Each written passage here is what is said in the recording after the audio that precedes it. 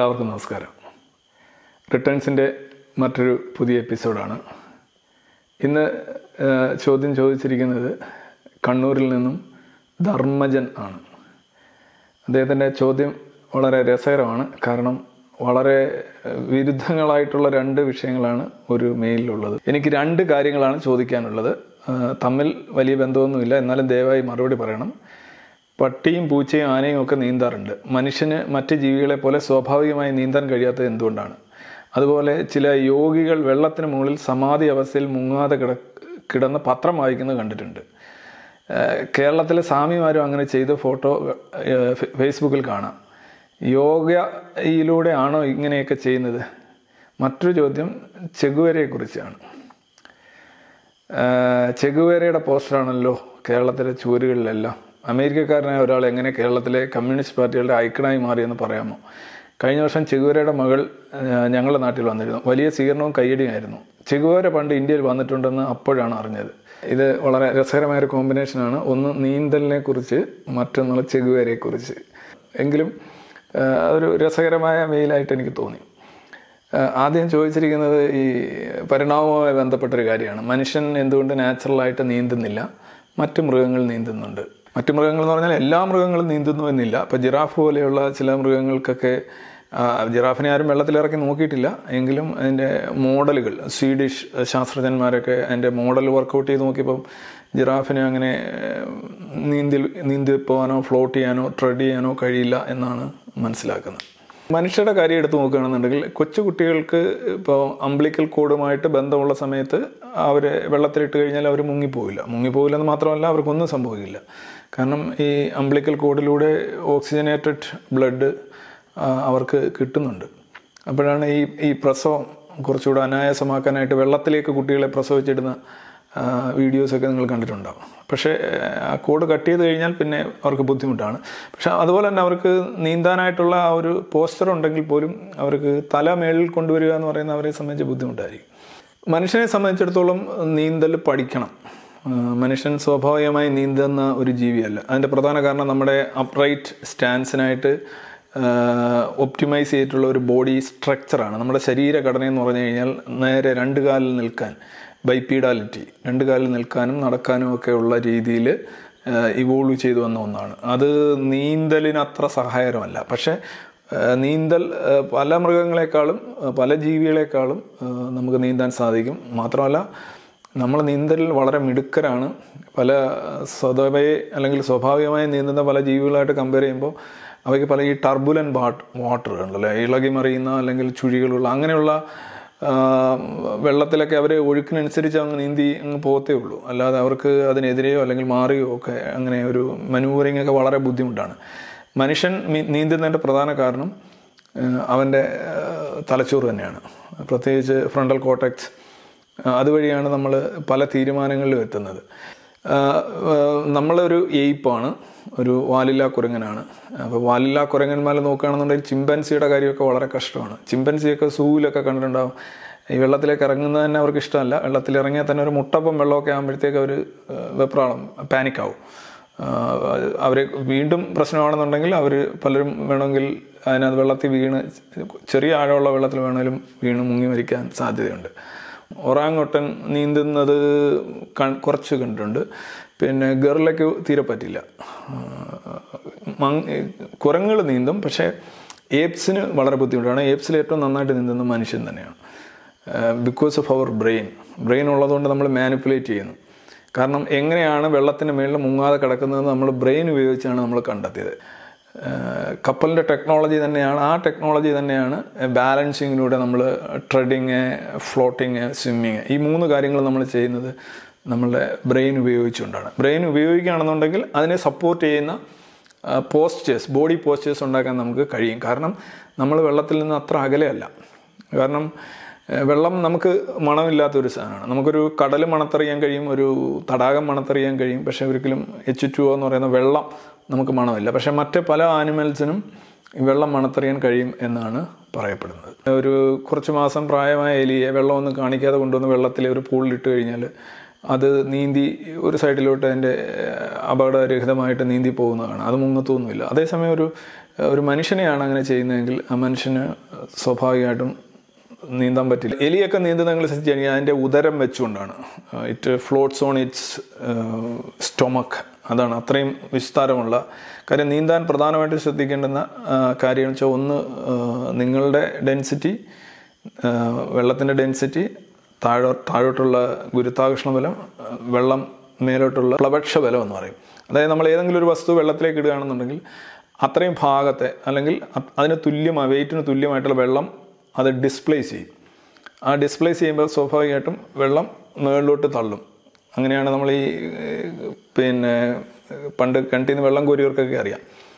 ഈ അതാണല്ലോ പ്ലവക്ഷ ബലം എന്ന് പറഞ്ഞാൽ കപ്പി സോറി തൊട്ടി അടിയിൽ നിന്ന് വെള്ളം നിരപ്പിലേക്ക് വരുന്ന വളരെ ഈസിയാണ് കോരാനായിട്ട്. കാര്യം വെള്ളം അതിന് ഒരു ഒരു ഫോഴ്സ് കൊടുക്കുന്നുണ്ട്. പക്ഷേ അതിന് മേളിലെത്തിക്കഴിഞ്ഞാൽ പിന്നെ കോരാനായിട്ട് ഭയങ്കര പിന്നെ ഗ്രാവിറ്റിക്കെതിരെ നമ്മൾ തുല്യമായ ബലം പ്രയോഗിക്കേണ്ടതായിട്ടുണ്ട്. നമുക്ക് നാച്ചുറലായിട്ട് നീന്താൻ കഴിയാത്തതിന്റെ ഒരു കാര്യം പ്രധാനപ്പെട്ട ഒരു കാര്യം എന്ന് പറഞ്ഞു കഴിഞ്ഞാൽ വെള്ളത്തോട് നമുക്ക് പേടിയുണ്ട് എന്നുള്ളതാണ്. വെള്ളത്തോട് പല ആൾക്കാർക്കും പേടിയുണ്ട്. ചിലപ്പോൾ ഒരു റേഷ്യലായിട്ട് തന്നെ പേടിയുണ്ടെന്ന് പറയണ്ട അമേരിക്കയിലൊക്കെ ആണെങ്കിൽ ഈ ആഫ്രിക്കൻ അമേരിക്കൻസ് അവർ അവരുടെ ഇടയിൽ നീന്തൽ അവർ പഠിക്കാൻ ഒട്ടും താല്പര്യം കാണിക്കുന്നില്ല എന്നൊക്കെയുള്ള റിപ്പോർട്ടുകൾ കണ്ടിരുന്നു. മാത്രമല്ല സ്വിമ്മിങ്ങിനൊക്കെ അത്ലറ്റ്സുകളെ നോക്കുകയാണെങ്കിലും അവരും കൂടുതലും വൈറ്റ്സ് ആണ്. ബ്ലാക്കിനിടയിൽ അത്ര പോപ്പുലർ അല്ല. വെള്ളത്തിൽ വീണ് കഴിഞ്ഞാൽ പാനിക് ആയി കഴിഞ്ഞാൽ നിങ്ങൾ മുങ്ങാനുള്ള സാധ്യത വളരെ കൂടുതലാണ്. അതുപോലെ തന്നെ പെട്ടെന്ന് രക്ഷ നേടാനുള്ള ശ്രമത്തിൽ നമ്മൾ ആളുകളെ വിളിക്കുകയും കരയുകയും ഷൗട്ട് ചെയ്യുകയൊക്കെ ചെയ്യുകയാണെന്നുണ്ടെങ്കിൽ നമ്മളുടെ ബോഡി ഒരുപാട് ഒന്ന് നമ്മളുടെ ഊർജം ഒരുപാട് നഷ്ടപ്പെടും. രണ്ട് നമ്മളെ ബാലൻസ് ചെയ്യാൻ സാധിക്കില്ല. മൂന്ന് എന്താണ് കറക്റ്റായിട്ട് ചെയ്യേണ്ടത് അത് ചെയ്യാൻ പറ്റാതെ നമ്മൾ വീണ്ടും വീണ്ടും താഴോട്ട് പോകും. താഴോട്ട് പോകുന്നതനുസരിച്ച് നമ്മുടെ പാനിക്കും ബുദ്ധിമുട്ടുകളും വർദ്ധിക്കും. നമ്മൾ സ്വാഭാവികമായിട്ട് നമ്മൾ മുങ്ങിപ്പോകും. ഈ ആദ്യം വെള്ളത്തെ എങ്ങനെയാണ് മാനിപ്പുലേറ്റ് ചെയ്യുന്നത്? എങ്ങനെയാണ് അതിനെ ഡീൽ ചെയ്യുന്നത്? നമ്മൾ പഠിച്ചു കഴിഞ്ഞാൽ മനസാന്നിധ്യം ഉണ്ടെന്നുണ്ടെങ്കിൽ മനുഷ്യന് മുങ്ങാതെ വെള്ളത്തിന്റെ മേളിൽ നീന്താതെ തന്നെ നീന്തൽ പഠിക്കണമെന്നില്ല. ട്രെഡ് ചെയ്ത് നിൽക്കാം. അല്ലെന്നുണ്ടെങ്കിൽ വെള്ളത്തിന്റെ മേളിൽ നമുക്ക് ബാലൻസ് ചെയ്ത് കിടക്കാൻ പറ്റും. ഫ്ലോട്ട് ചെയ്യാൻ പറ്റും. കപ്പൽ ഫ്ലോട്ട് ചെയ്യുന്നതല്ല. കപ്പൽ ശരിക്കും ഫ്ലോട്ട് ചെയ്യല്ല. കപ്പൽ ശരിക്കും എന്ന് പറഞ്ഞാൽ വെള്ളത്തിൽ ഇരിക്കുകയാണ് സിറ്റ് ചെയ്യുകയാണ്. അതിന്റെ നല്ലൊരു ഭാഗം വെള്ളത്തിന്റെ അടിയിലാണ് അതിന്റെ മേളിലാണ് കപ്പലിന്റെ ഭാഗം വരുന്നത്. കപ്പൽ മുങ്ങാത്തതിന്റെ പ്രധാന കാര്യം ഒന്ന് കപ്പൽ ഡിസ്പ്ലേ ചെയ്യുന്നതിന്റെ ആകൃതി കാരണം ഡിസ്പ്ലേ ചെയ്യുന്ന വാട്ടർ പിന്നെ മറ്റൊന്ന് കപ്പലിന്റെ ഹള്ള് അതിന്റെ അടിത്തട്ടെന്ന് പറയാം. അതിനകത്ത് ഒരുപാട് എയർ ക്യാവിറ്റീസ് ഉണ്ട് എയർ നിറച്ചിട്ടുണ്ട്. ഈ എയർ ക്യാവിറ്റി എന്ന് പറഞ്ഞാൽ സെഗ്മെന്റലൈസ്ഡ് ആണ്. അത് ഒരെണ്ണം പോയി കഴിഞ്ഞാൽ കപ്പൽ മുങ്ങില്ല. കാര്യം ഇങ്ങനെ ഈ ആദ്യം തൊട്ട് അവസാനം വരെ ഓരോരോ അറകളാണുള്ളത്. എത്ര ആഴമുള്ള വെള്ളം ആയിക്കോട്ടെ നിങ്ങൾ ഇറങ്ങി നിന്നാൽ മതി. അല്ലെങ്കിൽ തുഴഞ്ഞു നിന്നാൽ മതി. കാരണം നിങ്ങൾ ബ്രീത്ത് ചെയ്യുന്നുണ്ട്. നിങ്ങളുടെ ശ്വാസകോശത്തിൽ എയർ ഉണ്ടെങ്കിൽ നിങ്ങൾ മുങ്ങില്ല. ഒരു കുപ്പിക്കകത്ത് വെള്ളം ഉണ്ടെന്നിരിക്കട്ടെ. ആ വെള്ളം നിറച്ച് വെള്ളമുള്ള നിങ്ങൾ ഒരു മിനറൽ വാട്ടർ കുപ്പി വാങ്ങിച്ച് വെള്ളത്തിലിട്ട് കഴിഞ്ഞാൽ അത് താഴോട്ട് പോകും. പക്ഷെ അതിനകത്തൊരു ശകലം വെള്ളം കളഞ്ഞതിന് ശേഷം ഇട്ട് നോക്കും. അത് പൂർണമായിട്ട് മുങ്ങില്ല. അതിന്റെ ആ കഴുത്തൊപ്പം വരെ ഇങ്ങനെ നിൽക്കുകയുള്ളൂ. അതിന്റെ കാരണം വെച്ചാൽ അതിനകത്ത് വെള്ളമില്ലാത്ത ഭാഗത്ത് എയർ ഉണ്ട്. പ്രധാനമായിട്ട് നമ്മുടെ എയർ നിൽക്കുന്നത് ശ്വാസകോശത്തിലാണ്. അല്ലാതെ എയർ ഉണ്ട്. ആ എയർ ഉള്ളിടത്തോളം കാലം മുങ്ങില്ല. നിങ്ങൾ ജസ്റ്റ് ഒന്ന് ബാലൻസ് ചെയ്ത് കൊടുത്താൽ മതി. യു കൻ ട്രെഡ് നിങ്ങൾക്ക് ഈ ഓളം തള്ളി നിൽക്കുക എന്ന് പറയും നമ്മുടെ നാട്ടിൽ അത് ആർക്കമഡീസ് പ്രിൻസിപ്പിൾ ആണ്. പ്രധാനമായിട്ടും ഈ ഫ്ലോട്ടിങ്ങിന്റെയും സ്വിമ്മിങ്ങിന്റെയും എല്ലാം അടിസ്ഥാനം. Any floating object displaces its own weight of fluid അല്ല anybody wholly or partially immersed in a fluid experience an upward force equal to the weight of fluid displaced ഈ രണ്ട് തത്വങ്ങളാണ് ശരിക്കും നിങ്ങളെ ഫ്ലോട്ട് ചെയ്യാൻ സഹായിക്കുന്നത്. ഇനി ഈ പട്ടി പൂച്ച അല്ലെ ടൈഗർ ടൈഗർ കടുവ. കടുവ നല്ല നീന്തൽക്കാരനാണ്. ആന. ആനയ്ക്ക് നന്നായിട്ട് നീന്താൻ കഴിയും. ടൈഗർ മിക്കവാറും ജീവികൾക്കെല്ലാം നീന്താൻ പറ്റും. എങ്ങനെയാണ് ഒരു ആനയെ വെള്ളത്തിലിറങ്ങി ഇങ്ങനെ നീന്തി തുടങ്ങുന്നത് ചോദിച്ചാൽ എങ്ങും പോയി പഠിക്കുന്നൊന്നുമില്ലല്ലോ. എന്റെ കാരണം എന്ന് വെച്ച് കഴിഞ്ഞാൽ ആന എങ്ങനെയാണോ നടക്കുന്നത് അതിന്റെ പ്രൊപ്പൽഷൻ ഈ കാലെടുത്ത് മുന്നോട്ട് വെച്ച് ഇങ്ങനെ കരയിൽ നടക്കുന്ന അതേ സംഗതി ആന വെള്ളത്തിന് അടിയിൽ കാണി വെള്ളത്തിൽ കാണിക്കുമ്പോൾ അതിനെ പ്രൊപ്പൽ ചെയ്യും. അതിനെ അതിന് മുന്നോട്ട് പോകാൻ സാധിക്കും. അത് സ്വിമ്മിങ് ആയി മാറുകയാണ്. സ്വിമ്മിങ് അതിന് പഠിക്കേണ്ട കാര്യമൊന്നുമില്ല. അത് എല്ലാ മൃഗങ്ങൾക്കും അങ്ങനെയാണ്. എലിക്കായാലും അതിന്റെ കാൽ ഒക്കെ വെച്ചാണെങ്കിലും അത് എങ്ങനെയാണോ നടക്കുക ഓടുകയും ചെയ്യുന്നത് അതേപോലെ അവിടെ കാണിച്ചാൽ മതി. പക്ഷേ നമ്മൾ നടക്കുന്നത് പോലെ നമ്മൾ വെള്ളത്തിൽ കാണിച്ചു കഴിഞ്ഞാൽ നമുക്ക് ബാലൻസ് കിട്ടത്തില്ല. അതായത് നമ്മളുടെ നോർമൽ നാച്ചുറൽ വാക്കിംഗ് റണ്ണിങ് അത് വെള്ളത്തിൽ നമുക്ക് സ്വിം ചെയ്യാനായിട്ട് പ്രയോജനകരമല്ലാത്തതുകൊണ്ടാണ് നമുക്കത് പഠിക്കേണ്ടി വരുന്നത്. ചെറുതായിട്ടൊന്ന് അഡ്ജസ്റ്റ് ചെയ്ത് പഠിച്ചാൽ മതി. പക്ഷേ ഈ മറ്റ് മൃഗങ്ങളെ സംബന്ധിച്ചിടത്തോളം അവ എങ്ങനെ നടക്കുന്നു അത് വെള്ളത്തിൽ ഇറങ്ങി നടക്കലാണ് അവയെ സംബന്ധിച്ച നീന്തൽ എന്ന് പറയുന്നത്. അതാണ് അവർക്ക് നാച്ചുറലായിട്ട് വരുന്നതും നമുക്കത് പഠിച്ചെടുക്കേണ്ടതായിട്ടും വരുന്നത്. ഇപ്പോൾ നിങ്ങൾ ചാവുകടലിൽ ഡെഡ് സി അതിന് വളരെ ലവണങ്ങളും ധാതുക്കളും മിനറൽസും ഒക്കെ ഒരുപാടുള്ളതുകൊണ്ട് ഉപ്പും ഒക്കെ കണ്ടമാനം ഉള്ളതുകൊണ്ട് ആ വെള്ളത്തിന് ഭയങ്കര ഡെൻസിറ്റി കൂടുതലാണ് സാന്ദ്രത കൂടുതലാണ്. അതിൽ മറ്റ് ജീവികളും ഉണ്ടാവില്ല. അതാണ് ഡെഡ് സി എന്ന് തന്നെ വിളിക്കുന്നത്. നിങ്ങൾക്ക് നീന്തിക്കൊണ്ടിരിക്കാം. നല്ല ബോയൻസി ഉള്ളതുകൊണ്ട് നിങ്ങൾക്ക് മലർന്നു കിടന്ന് വായിക്കുകയോ ഒക്കെ ചെയ്യാൻ കഴിയും. മുങ്ങില്ല. അത് നിങ്ങളെ അത്രയും മേളിലോട്ട് തള്ളിക്കൊണ്ടിരിക്കാം. ബോയൻ ഫോഴ്സ് ഗ്രാവിറ്റിയേക്കാൾ ലേശം കൂടുതലായതിനാൽ നിങ്ങൾ മുങ്ങില്ല. ഈ മെയിലിൽ പറഞ്ഞിരിക്കുന്ന ഈ വെള്ളത്തിൽ കിടന്നുകൊണ്ട് വായിക്കുക വെള്ളത്തിലിങ്ങനെ എന്താണ് ജലസമാധി എന്നൊക്കെ പറയുന്നത് എന്താ യോഗിമാരും ദിവ്യന്മാരും ഒക്കെ ചെയ്യുന്നു സന്യാസിമാരൊക്കെ ചെയ്യുന്നു എങ്ങനെ ഇത് ചെയ്യും എന്തോ കഴിവുണ്ട് എന്നൊക്കെ പറയും ഇത് ഇത് എന്തുകൊണ്ടാണ് ഇങ്ങനെ ചോദ്യം ചോദിച്ചതെന്ന് എനിക്ക് അല്പം കാര്യം കൊച്ചു കുഞ്ഞുങ്ങൾക്കൊരു അറിയാം ഇതിനകത്ത് ഒരു യോഗസിദ്ധിയും അല്ലെങ്കിൽ അങ്ങനെ ഒരു സംഗതിയില്ല. ഇത് ആർക്കും ചെയ്യാവുന്ന കാര്യമാണ്. നിങ്ങൾക്ക് വേണമെങ്കിലും ചെയ്യാം. ജസ്റ്റ് ഒന്ന് പരിശീലിച്ച് നോക്കിക്കഴിഞ്ഞാൽ ചെയ്യാവുന്നേ ഉള്ളൂ. അതായത് നിങ്ങൾ ചെയ്യേണ്ടതെന്ന് പറഞ്ഞു കഴിഞ്ഞാൽ വെള്ളത്തിന്റെ മേളിൽ കിടക്കാം. വെള്ളത്തിന്റെ മേളിൽ കിടക്കുന്നത് എങ്ങനെയാണ്? ഈ പോസ്റ്റിൽ കിടക്കാം. ഇങ്ങനെ കിടക്കാം. അല്ലാതെ അല്ലാതെയും കിടക്കാം. കാൽ നേരെ വെക്കുക. വെള്ളത്തിൽ ചെന്ന് നോക്കുക. നിങ്ങൾ എപ്പോഴും നിങ്ങളുടെ ചെസ്റ്റ് മേളിലോട്ട് ആയിരിക്കണം. ഒരുപാട് വായു പിടിച്ചു വെച്ചിട്ട് പെട്ടെന്ന് വിട്ട് കഴിഞ്ഞാൽ നിങ്ങൾ അതിന്റെ ആ ചുരുങ്ങുന്നതനുസരിച്ച് നിങ്ങളുടെ ബോഡി താഴോട്ട് പോകും. കിടക്കുമ്പോൾ ശ്രദ്ധിക്കേണ്ട കാര്യം എപ്പോഴും ഈ മൂക്ക് എപ്പോഴും നീന്തലിന്റെ അടിസ്ഥാനം എന്ന് പറയുന്നത് നിങ്ങളുടെ മൂക്ക് വെള്ളത്തിന്റെ ഒരു മൂക്ക് വെള്ളത്തിന്റെ മുകളിൽ നിലനിർത്തുക എന്നുള്ളതാണ് ആണല്ലോ? അതാണ് ഈ മുങ്ങാതിരിക്കാനുള്ള ഏക ബാക്കി ഭാഗങ്ങളൊന്നും മുങ്ങുന്ന ഒരു വിഷയമല്ല. ഈ മൂക്കും വായ ആ ഭാഗം വെള്ളത്തിനടിയിൽ പോകാതിരിക്കുക. സ്ട്രെയിറ്റ് ആയിട്ട് കിടക്കുക തല പുറകോട്ട് ചരിക്കണം. പുറകോട്ട് ധരിച്ചിട്ട് താടിയും മൂക്കും മുകളിലേക്ക് വരിക. അതുപോലെ തന്നെ തല പുറകോട്ട് പോകുമ്പോൾ നിങ്ങളുടെ ചെവിയിൽ വെള്ളം കയറും. ചെവിയിൽ വെള്ളം കയറുന്ന അത്ര ഒരു രസകരമായ ഒരു അനുഭവമല്ല. പക്ഷേ ഒരിക്കലും ചെവിയിലെ വെള്ളം കയറുന്ന ഒഴിവാക്കാനായിട്ട് തല മേളിലോട്ട് വെക്കാനായിട്ട് ശ്രമിക്കില്ല. അങ്ങനെ ശ്രമിച്ചു കഴിഞ്ഞാൽ നിങ്ങളുടെ കഴുത്തിന് നല്ല വേദനയാവും. കുറേ കുറേ നേരം ചെയ്യാൻ പറ്റുള്ളൂ.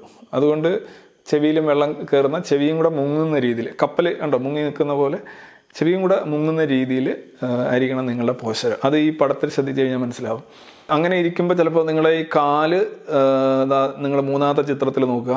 കാൽ താഴോട്ട് പോകാൻ സാധ്യതയുണ്ട്. കാൽ താഴോട്ട് പോവുകയാണെന്നുണ്ടെങ്കിൽ രണ്ട് ഒന്ന് രണ്ട് വട്ടം തല്ലി ആ കാൽ താഴോട്ട് തല്ലി നിങ്ങൾക്ക് മേളിലോട്ട് വരാൻ പറ്റും. ഒരിക്കലും നിങ്ങൾ നടുകൊണ്ട് താഴോട്ട് പോകരുത്. താഴോട്ട് പോയി കഴിഞ്ഞാൽ ബുദ്ധിമുട്ടാവും. ശ്വാസോച്ഛ്വാസത്തിന്റെ കാര്യം ഇത് തന്നെയാണ്. ആദ്യത്തിൽ കാണുന്നത് ഒരുപാട് ഭയങ്കരമായി എയർ പിടിച്ചു വെച്ചിരിക്കുന്നു. പക്ഷേ അങ്ങനെ വരുമ്പോൾ ഭയങ്കരമായിട്ട് അത് ചുരുങ്ങും. അങ്ങനെ ചുരുങ്ങുമ്പോൾ അത് താഴോട്ട് പോകാനുള്ള ഒരു ടെൻഡൻസി ഉണ്ടാവും. അതുകൊണ്ട് ചെയ്യേണ്ട ഒരു വളരെ മോഡറേറ്റ് ആയിട്ടുള്ള വളരെ ശാന്തമായി പാനിക് ആവാതെ വളരെ ഇതായിട്ട് എയർ പിടിച്ച് വിടുക. അതിലൊരു നല്ലൊരു താളം കണ്ടെത്തണം. എങ്കിൽ മാത്രമേ നമുക്ക് ഫ്ലോട്ട് ചെയ്യാൻ പറ്റുള്ളൂ. മറ്റൊന്നുള്ളതാണ് ട്രെഡിങ് ട്രെഡിങ് എന്ന് പറഞ്ഞാൽ വെള്ളത്തിൽ നിൽക്കുക എന്നുള്ളതാണ്. വെള്ളത്തിൽ നിൽക്കുകയാണ്. ഞങ്ങളൊക്കെ പണ്ട് നീന്തുമ്പോൾ ശരിക്കും ചെയ്യുന്നതെന്ന് പറഞ്ഞാൽ വെള്ളത്തിൽ ഇറങ്ങി നിന്നിട്ട് ഇങ്ങനെ നിൽക്കുക. ഇങ്ങനെ ഓളം തള്ളി കൈ ഇങ്ങനെ സ്ട്രെച്ച് ചെയ്ത് ഇങ്ങനെ ഓളം തള്ളി നിൽക്കുക. എന്നിട്ട് അതിന്റെ കാൽ പല രീതിയിലാക്കാം. ഒന്നുകിൽ നിങ്ങൾക്ക് നടക്കുന്ന രീതിയിലാക്കാം. അല്ലെങ്കിൽ ഈ തവള ഇങ്ങനെയാക്കാം. റൊട്ടേറ്റ് ചെയ്യാം. പല രീതിയിൽ. ഞാൻ ഇതിനകത്ത് കാണിച്ചിരിക്കുന്ന റൊട്ടേഷൻ നോക്കാം. അത് നല്ല രീതിയിൽ നിൽക്കാം. വ്യത്യസ്ത ദിശകളിലേക്ക്. അതായത് ഒരു സെമി നീന്തൽ പോലെ വരും. പക്ഷേ നമ്മൾ മെല്ലെ ചെയ്യുന്നുള്ളൂ. പിന്നെ ബ്രീത്ത് ചെയ്യുമ്പോൾ ശ്രദ്ധിക്കുക പാനിക് ആവാൻ പാടില്ല. വളരെ സ്വച്ഛമായിട്ട് വളരെ ശാന്തമായിട്ട് ബ്രീത്ത് ചെയ്യുക. കൈ ഇങ്ങനെ ആക്കി ഇങ്ങനെ നിൽക്കുക. എത്ര എനിക്കൊന്ന് മണിക്കൂറുകളോളം നിൽക്കാൻ തോന്നും. നീന്തൽ ഭയങ്കര എനർജി കൺസ്യൂമിങ് അപ്പോൾ പെട്ടെന്ന് ഭയങ്കരമായിട്ട് ക്ഷീണിക്കും. പക്ഷേ ഇതിങ്ങനെ എത്ര മണിക്കൂർ വേണമെങ്കിലും ഇങ്ങനെ നിൽക്കുക. വെള്ളത്തിൽ വീഴുന്ന ആളുകൾ ആദ്യം പഠിക്കേണ്ട ഈ ട്രെഡിങ് എന്ന് പറയുന്ന സാധനമാണ്. ഓളം തള്ളി നിൽക്കുക. അല്ലെന്നുണ്ടെങ്കിൽ പിന്നെ ഈ ശായ ഈ ജലസമാധി എന്ന് പറയുന്ന സാധനം യഥാർത്ഥത്തിൽ ചെയ്യാവുന്നേ ഉള്ളൂ. ആർക്കും ചെയ്യാവുന്നേ ഉള്ളൂ. സന്യാസിമാർക്ക് വേണമെങ്കിലും ചെയ്യാം. അവർ ചെയ്യുന്നതിൽ ആരും തടഞ്ഞിട്ടില്ല. നിങ്ങൾക്കും ചെയ്യാം. ആർക്ക് വേണമെങ്കിലും ചെയ്യാം. രണ്ടാമത്തെ ചോദ്യത്തിലേക്ക് വരാം. ഇതുമായിട്ട് ഒരു ബന്ധവും ഇല്ലാത്തതാണ് ചെഗുവേരയുടെ കാര്യം. അദ്ദേഹം ചോദിച്ചാൽ ചെഗുവേരയുടെ പോസ്റ്ററുകൾ എല്ലായിടത്തും കാണാൻ കഴിയുമല്ലോ?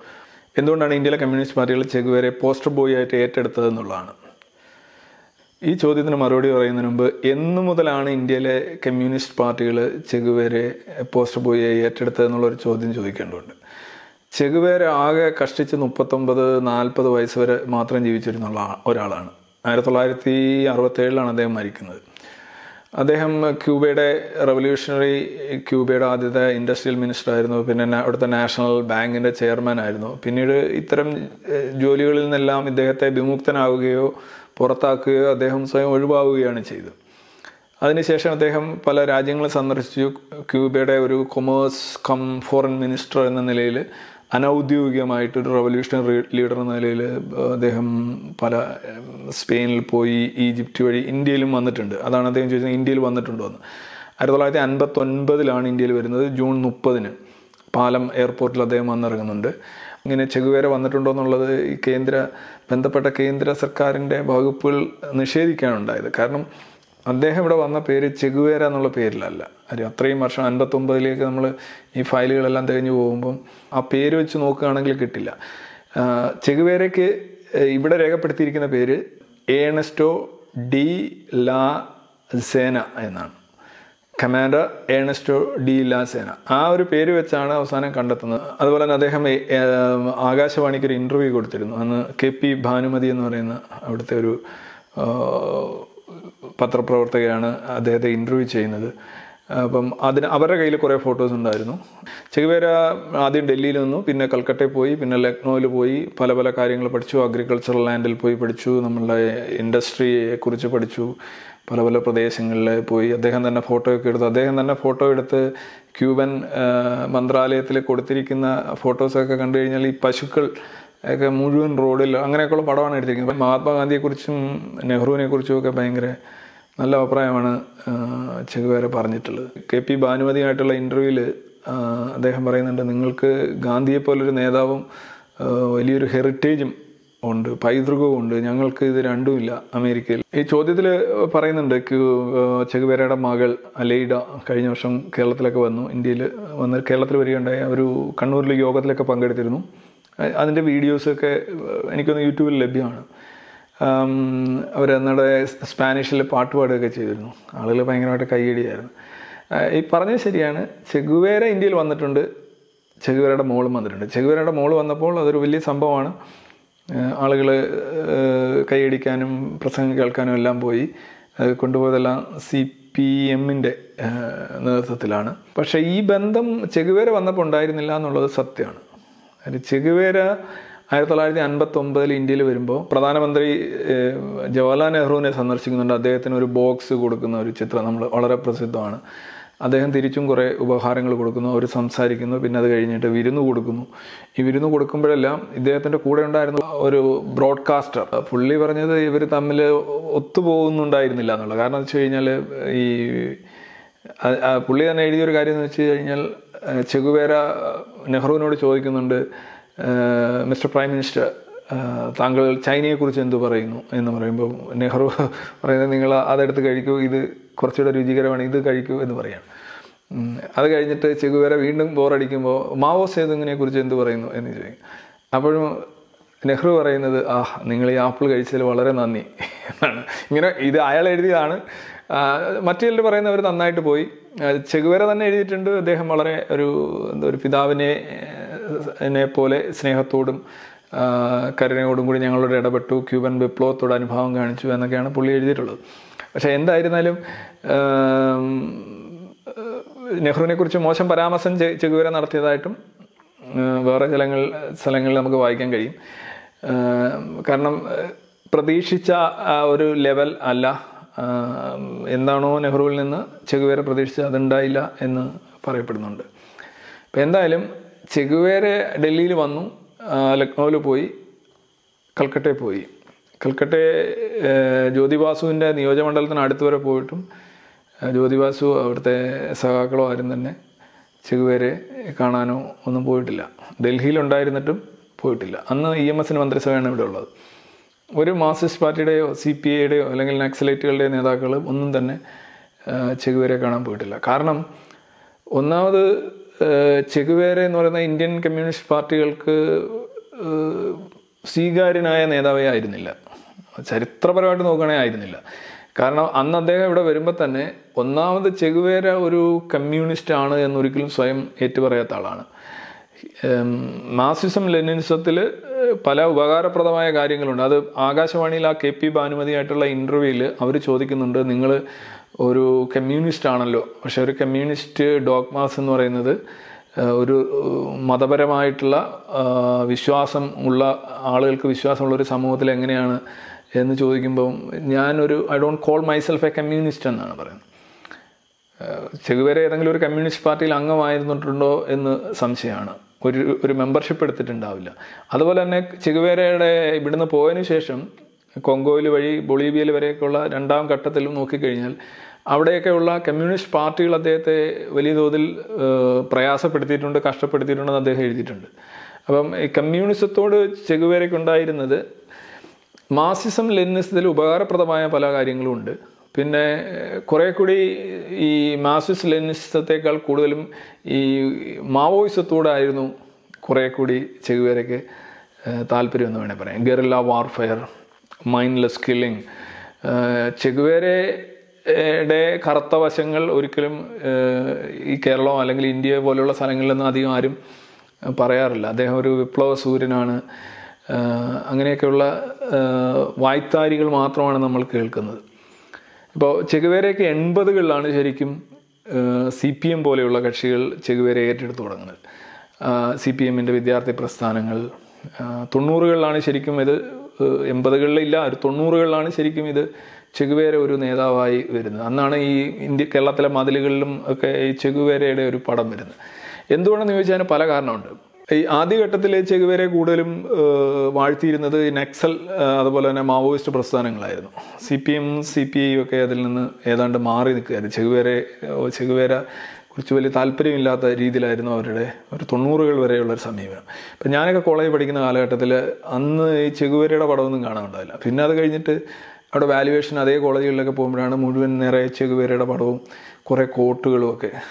ആ കോട്ടുകൾ പലതും ചെകുവേര പറഞ്ഞിട്ടുള്ള കാര്യങ്ങളേ അല്ല. എല്ലാം എല്ലാ ഭീകരം അത് പിന്നെ ചെകുവേരയുടെ മാത്രം പ്രശ്നമല്ല മിക്കവാറും നല്ല കോട്ടുകളെല്ലാം തന്നെ ഇങ്ങനെ പ്രമുഖരായിട്ടുള്ള പ്രശസ്തരായിട്ടുള്ള വ്യക്തികളുടെ മേലിലാണ് വരിക. ചെകുവേര കൂടുതൽ എൺപതുകളിൽ പ്രസിദ്ധമാകുന്ന യൂറോപ്പിൽ അദ്ദേഹം പ്രസിദ്ധനാവാൻ തുടങ്ങി. പ്രത്യേകിച്ച് ടീഷർട്ടുകളിൽ ജീൻസ് ഇതൊക്കെ ചെഗുവേരയുടെ ബ്രാൻഡ് അങ്ങനെയാണ് അദ്ദേഹം കൂടുതൽ പ്രസിദ്ധനാവുന്നത്. അതിനുശേഷം ഈ ഒരു ചെറുപ്പക്കാരനാണ് കാണാൻ വളരെ സുന്ദരനാണ് ക്രിസ്തുവുമായിട്ട് താരതമ്യപ്പെടുത്താൻ തുടങ്ങി. പിന്നെ ഗെറില്ല വാർഫെയർ നടത്തുന്നു. ഭയങ്കര റൊമാന്റിക് ലൈഫാണ് ഗവൺമെന്റ് ജോലി ഗവൺമെന്റിലെ മന്ത്രിയായിരുന്നു അതൊക്കെ കളഞ്ഞിട്ട് വീണ്ടും കാട്ടിലേക്ക് പോകുന്നു. അവിടെ വെച്ച് വെടികൊണ്ട് മരിക്കുന്നു. പിന്നെ അവസാനം അദ്ദേഹം പറഞ്ഞു എന്ന് പറഞ്ഞ് നിങ്ങൾ എന്നെ കൊല്ലാനാണ് വന്നിരിക്കുന്നത് എന്ന് എനിക്കറിയാം എന്നൊക്കെയുള്ള ആ സെന്റൻസ് ഇതെല്ലാം എല്ലാം സാഹിത്യകൃതികളാണ് ഇത്. ഇങ്ങനെയാണോ പറഞ്ഞതെന്നുള്ളതിനെക്കുറിച്ച് കുറിച്ച് വലിയ തർക്കമുണ്ട്. ഇങ്ങനെ അല്ല പറഞ്ഞതെന്നും അവസാനം മരണ ജീവന് വേണ്ടി അദ്ദേഹം യാചിച്ചു എന്ന് പറയുന്ന റെക്കോർഡുകളും ഉണ്ട്. പക്ഷേ ഇത് ഇതാണ് ഇപ്പോൾ പ്രസിദ്ധമായിട്ടുള്ള വരികൾ. അങ്ങനെയാണ് ഈ ഇമേജ് ബിൽഡിംഗ് എക്സസൈസ് പോവുക. ചെഗുവേരയുടെ മറ്റ് വശങ്ങളെക്കുറിച്ചും അദ്ദേഹം നടത്തിയിട്ടുള്ള ഇതിനെക്കുറിച്ചൊന്നും ഞാൻ പറയുന്നില്ല. പക്ഷേ കമ്മ്യൂണിസ്റ്റുകൾ പ്രത്യേകിച്ച് സി പി എം ഇന്ത്യയിൽ സി പി ഐക്ക് കിട്ടിയില്ല എന്ന് തോന്നുന്നു. സി പി ഐക്കാർ അത്ര ഒരു ചെഗുവേരെ അത്ര ഒരു പ്രൊജക്റ്റ് ചെയ്യുന്നതായിട്ട് എനിക്ക് തോന്നിയിട്ടില്ല. ആർ എസ് പി അല്ലെങ്കിൽ അങ്ങനെയൊക്കെയുള്ള കക്ഷികളും ചെകുവേരെ അങ്ങനെ എടുക്കുന്നത്. പക്ഷേ കമ്മ്യൂണി സി പി എം എടുത്തു. അതിനൊരു കാരണം എന്ന് വെച്ച് കഴിഞ്ഞാൽ അതൊരു നല്ല ചോയ്സ് ആയിരുന്നു. അവരെ സംബന്ധിച്ചിടത്തോളം സ്റ്റാലിൻ ലെനിൻ അതേപോലെ അങ്ങനെയുള്ള നേതാ മാക്സ് കൂടെ നേതാക്കളുടെ പടങ്ങളാണ് കാണിച്ചുകൊണ്ടിരുന്നത് കൂടുതൽ പക്ഷെ അതിന് അത്ര വലിയൊരു ആകർഷകത്വം ഇല്ല എന്നവർ തിരിച്ചറിയുന്നു. പ്രത്യേകിച്ചും കൂടുതൽ ഈ മാവോ സേതുങ്ങിന്റെ പടം ഒരിക്കലും പല പാർട്ടി കോൺഗ്രസിലും വെച്ചിട്ടുണ്ടെങ്കിലും അത് ഇന്ത്യയിൽ അത് പെട്ടെന്ന് വിറ്റുപോകുന്ന ഒരു പടമല്ല. ഒന്നാമത് എത്തനിക് ആയിട്ട് മാവോ സേതുങ് ചൈനക്കാരാണ്. പിന്നെ ചൈന എന്ന് പറയുന്നത് ഇന്ത്യൻ സൈക്കിക്ക് തന്നെ ഒരു മനസ്സിന് തന്നെ ഒരു രണ്ട് യുദ്ധങ്ങൾ യുദ്ധങ്ങളും ആക്രമണങ്ങളൊക്കെ കാരണം ചൈന ഒരു ചൈനീസ് നേതാവിനെ ഇന്ത്യയിൽ പ്രതിഷ്ഠിക്കാൻ അല്പം ബുദ്ധിമുട്ടാണ്. അവിടെ അവിടെയാണ് റഷ്യനോ ചൈനീസോ അല്ലാത്ത ചെകുവേരയുടെ സുന്ദര മുഖം കിട്ടുന്നത്. അങ്ങനെ തൊണ്ണൂറുകൾ തൊട്ട് ഇത് തുടങ്ങുന്നുണ്ടോ. അത് വലിയ തോതിൽ ചെറുപ്പക്കാരെ വലിയ തോതിൽ ആകർഷിക്കും. എസ് എഫ് ഐ എനിക്ക് തോന്നുന്നു കോഴിക്കോട് കണ്ട ഒരു എസ് എഫ് ഐയുടെ ഒരു യൂണിറ്റ് എൺപതുകളിൽ പിരിച്ചുവിട്ടതിന്റെ ഒരു കാരണം തന്നെ ചെകുവേര ദിനം അനുസ്മരിക്കുകയോ അങ്ങോട്ട് ചെയ്തതാണ്. കാരണം അന്ന് നക്സലൈറ്റുകളാണ് കൂടുതലും ചെകുവേരയെ പൂഴ്ത്തിക്കൊണ്ട് നടന്നത്. സി പി എം അതിൽ നിന്ന് മാറി നിൽക്കായിരുന്നു. ചെകുവേര പ്രധാനമായിട്ടും ഈ റഷ്യൻ കമ്മ്യൂണിസത്തിന് എതിരായിരുന്നു. അതായിരുന്നു കമ്മ്യൂണിസ്റ്റുകൾക്ക് അദ്ദേഹത്തെ കണ്ടുകൂടാത്തത് അന്ന് സ്റ്റാലിന്റെയും ക്രൂഷ്ചേവിന്റെയൊക്കെ സമയത്ത് ഫിഡൽ കാസ്ട്രോ കൂടുതലും റഷ്യയായിട്ട് എങ്ങനെങ്കിലും അന്റജനത്തിൽ പോകണം എന്നുള്ള ഇതായിരുന്നു പക്ഷേ കുറച്ചുകൂടെ ടഫറായിട്ടുള്ള സ്റ്റാൻഡായിരുന്നു ചെഗുവേരയ്ക്ക്. ചെഗുവേരയ്ക്ക് റഷ്യൻ കമ്മ്യൂണിസ്റ്റ് അവസാനം ഇഷ്ടപ്പെടാതായി. അദ്ദേഹം കൂടുതലും ഈ മാവോയിസത്തോടായിരുന്നു ലീൻ ചെയ്ത് നിന്നിരുന്നത് ഈവൻ ഒരു അറ്റോമിക് യുദ്ധം ഉണ്ടായാൽ പോലും ക്യാപിറ്റലിസത്തെ അറ്റോമിക് യുദ്ധത്തിലൂടെയാണെങ്കിലും ക്യാപിറ്റലിസത്തെ നശിപ്പിക്കണം എന്ന് പറഞ്ഞ ആളാണ് ചെഗുവേര. ജോൺ ഓഫ് കന്നഡി മരിച്ചപ്പോൾ ചെഗുവേര അതിൽ ആഹ്ലാദം രേഖപ്പെടുത്തി എന്ന് പറയുന്ന ഒരുണ്ട് അപ്പം ചെഗുവേരയുടെ ഒരു രീതി എന്ന് പറഞ്ഞു കഴിഞ്ഞാൽ ഇന്ത്യയിൽ വന്നപ്പോൾ അമ്പത്തൊമ്പതിൽ വന്നപ്പോൾ ഇവിടുത്തെ ഒരു കമ്മ്യൂണിസ്റ്റ് പാർട്ടികളോ നേതാക്കളോ ആരും തന്നെ ചെഗുവേരയെ കാണാൻ പോയിട്ടില്ല. പക്ഷേ അൻപത്തൊമ്പതിൽ നിന്ന് എൺപത്തൊമ്പതിൽ ഒരു മുപ്പത് വർഷം കഴിയുമ്പോൾ ചെഗുവേര ഇന്ത്യയിലെ കമ്മ്യൂണിസ്റ്റ് പാർട്ടിയുടെ പ്രധാന പോസ്റ്റർ ബോയിയായി മാറുകയാണ്.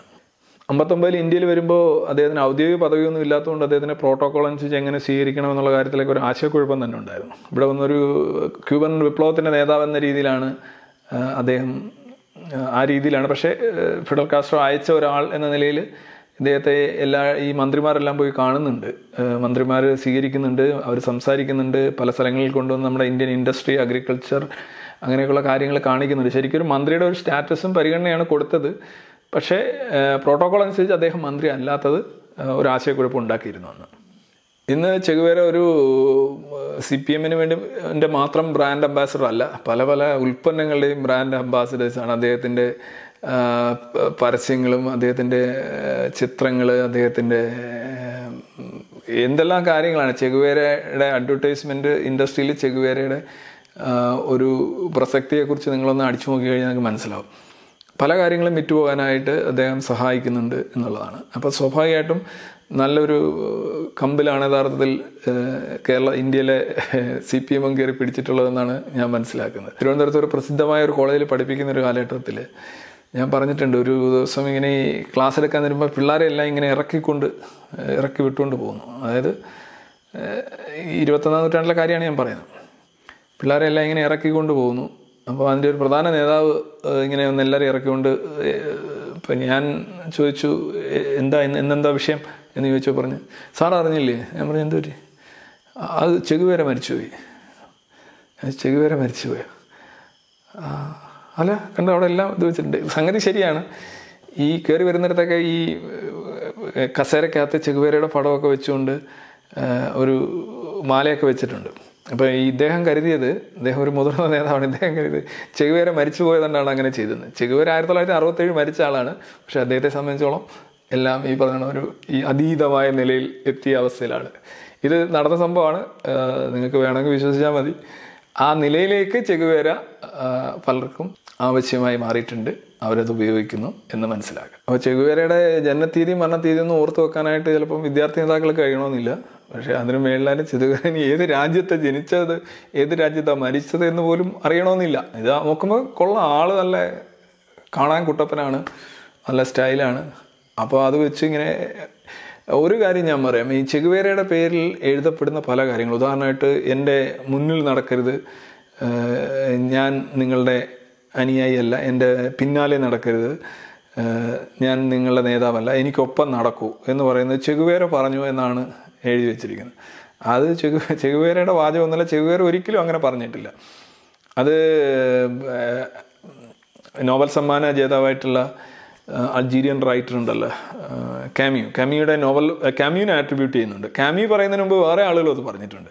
ഇത് പക്ഷേ ഈ ഒരു വാചകം ചെകുവേരയുടെ പേരിലാണ് അറിയപ്പെടുന്നത്. അങ്ങനെ ഒരുപാട് മിസ് ആട്രിബ്യൂഷൻസ് ചെകുവേരയുടെ പേരിലുണ്ട്. ചെകുവേര വലിയൊരു ബിംബവൽക്കരണം ഒരു ഒരു എന്താ പറയുന്ന ഒരു മോചകൻ ഒരു ദൈവതുല്യനായ ഒരാൾ എന്ന നിലയിലേക്ക് വലിയ തോതിൽ പ്രചരിപ്പിക്കുന്നുണ്ട്. അങ്ങനെ ആളുകൾ അവർക്ക് വേണം അങ്ങനെ ബിംബങ്ങളും വ്യക്തി പൂജകളും വളരെ ആവശ്യമാണ് ഇത്തരം പ്രസ്ഥാനങ്ങളിൽ. പക്ഷേ ഒരു പ്രശ്നം എന്ന് പറഞ്ഞു കഴിഞ്ഞാൽ ഈ ചെഗുവേരയുടെ വൺ സൈഡഡ് ആയിട്ടുള്ള ഒരു ബിംബവൽക്കരണമാണ്. ചെഗുവേര യഥാർത്ഥ ചെഗുവേര എന്തായിരുന്നു? അദ്ദേഹത്തിന്റെ ആക്ടിവിറ്റീസ് അദ്ദേഹം മോട്ടോർ സൈക്കിൾ ഡയറിയിൽ തന്നെ അദ്ദേഹത്തിന്റെ പല പല റഫറൻസസും പല പല എഴുത്തുകളും.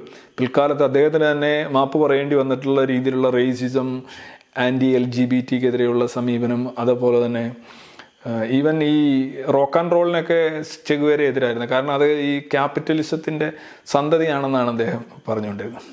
ഇത് മറ്റു വളരെ അനുസ്മരിപ്പിക്കുന്ന രീതിയാണ്. അതുപോലെ തന്നെ അദ്ദേഹം ഈ എൽ ജി ബി ടി എന്നൊക്കെ പറയുന്നത് ഈ ക്യാപിറ്റലിസത്തിന്റെ ജീർണതയുടെ ഫലമാണ് എന്നാണ് ചെഗുവേര പറഞ്ഞിട്ടുള്ളത്. ചെഗുവേരയ്ക്ക് ഇതെല്ലാം പഠിച്ചു തിരുത്താനുള്ള അവസരം കിട്ടിയില്ല. ശരിയാണ് മുപ്പത്തൊമ്പത് നാൽപ്പത് വയസ്സായപ്പോൾ അദ്ദേഹം മരിച്ചുപോയി. പക്ഷേ ചെഗുവേര ഒരുപാട് ഇന്നത്തെ മനുഷ്യ നമ്മളിപ്പോൾ ഹിറ്റ്ലറിനെക്കുറിച്ചും കുറിച്ചും സ്റ്റാലിനെ കുറിച്ചും ഒക്കെ പറയുമ്പോൾ നേരിട്ടും അല്ലാതെയും ഒരുപാട് ക്രൂരതകൾ ഒരുപാട് കൊലപാതകങ്ങൾ ഒക്കെ ചെഗുവേര അത് ആരും നിഷേധിക്കുന്നുമില്ല. ചെഗുവേരയുടെ രണ്ട് രീതിയിലാണ് അദ്ദേഹത്തിന്റെ ചരിത്രം എഴുതുന്നത്. ഒന്ന് ഭയങ്കര ഭക്തന്മാർ അദ്ദേഹത്തെ ബിംബവൽക്കരിച്ചുകൊണ്ട് എഴുതുന്നവരുണ്ട്. മറിച്ച് അദ്ദേഹത്തെ വെറും ഒരു ഭീരുവായി ചിത്രീകരിച്ചുകൊണ്ട് ഭരിക്കാൻ കൊള്ളാത്തവനുമായിട്ട് ചിത്രീകരിച്ചുകൊണ്ട് ന്യൂനതകൾ ചിത്രീകരിച്ചുകൊണ്ട് എഴുതുന്ന ഒരു വിഭാഗമുണ്ട്. പക്ഷേ ഇതിന്റെ രണ്ടിന്റെയും കൂടെ നമ്മളൊരു ഒരു ഇക്ലിബറിയം ഇതിന്റെ രണ്ടിന്റെയും കൂടെ ഒരു ഒരു ആവറേജ് എടുത്ത് നോക്കിക്കഴിഞ്ഞാലും ചെഗുവേര ഒരിക്കലും ഒരു വിപ്ലവ നേതാവ് എന്ന നിലയിലോ ഒരു ഭരണകർത്താവ് എന്ന നിലയിലോ ഒരു വ്യക്തി എന്ന നിലയിലോ ഒരു എബോ ആവറേജ് എന്ന് പറയാൻ കഴിയില്ല. പക്ഷേ അദ്ദേഹം നടത്തിയിട്ടുള്ള കൊലകളും അദ്ദേഹം നടത്തിയിട്ടുള്ള ക്രൂരതകളും ഒരിക്കലും സ്വീകരിക്കാൻ കഴിയുന്നതല്ല. ഒരു ആധുനിക ജനാധിപത്യ സമൂഹത്തിന് സ്വീകരിക്കാൻ കഴിയുന്നതല്ല. അത് കുവൻ വിപ്ലവത്തിന്റെ വിജയത്തിന് ശേഷം വിചാരണയില്ലാതെ നടത്തിയിട്ടുള്ള കൊലകൾ. ചിലർ നൂറുകണക്കിനെന്ന് പറയും ചിലർ ആയിരക്കണക്കിനെന്ന് പറയും. അതിനെ അതിനെക്കുറിച്ച് സംസാരിക്കുകയാണെങ്കിൽ വേറൊരു പരിപാടി തന്നെ ആവശ്യമാണ്. പക്ഷെ പൊതുവിൽ ഇദ്ദേഹം പറഞ്ഞ ചോദിച്ച ചോദ്യം ഇതാണ്. ഒന്ന് നീന്തലിനെ കുറിച്ചായിരുന്നു അത് ഞാൻ പറഞ്ഞു. മറ്റേത് ചെഗുവേരയെ കുറിച്ചാണ് ചെഗുവേര ഇന്ത്യൻ കമ്മ്യൂണിസ്റ്റ് പാർട്ടികളുടെ പോസ്റ്റർ ബോയ് ആകാനുള്ള കാരണം ഇതാണ്. അല്ലാതെ അവർക്ക് ചെഗുവേരയായിട്ട് ആദ്യഘട്ടത്തിലെ അങ്ങനെ ആയിരുന്നില്ല. അതൊരു ന്യൂ ഫൗണ്ട് റിലേഷൻഷിപ്പാണ്. ഇല്ല നമ്മളെന്താ പറയുന്നത് അഴകിയ രാവണനിലൊക്കെ പറയുമല്ലോ ഈ അങ്ങനെ ഇഷ്ടപ്പെടാതെ ഇഷ്ടപ്പെടാതെ അവസാനം അങ്ങ് ഇഷ്ടപ്പെട്ടു പോയതായിരിക്കാം എന്ന് നമുക്ക് കരുതാം. കത്തയച്ച ആൾക്ക് പ്രത്യേകം നന്ദി.